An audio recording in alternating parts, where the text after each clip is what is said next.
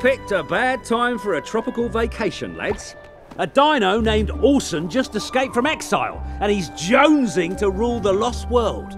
Now he's got a couple of raptors, and if he succeeds, no mammal will be safe. Whoa, well, that's a good thing I'm not a mammal. You are a mammal. Sorry, bro. Looks like life dealt you a bad hand. You're a mammal too. That's impossible. What are the odds of two possums being mammals? They're the same odds that you'll both be a raptor's brunch if I don't get you out of here.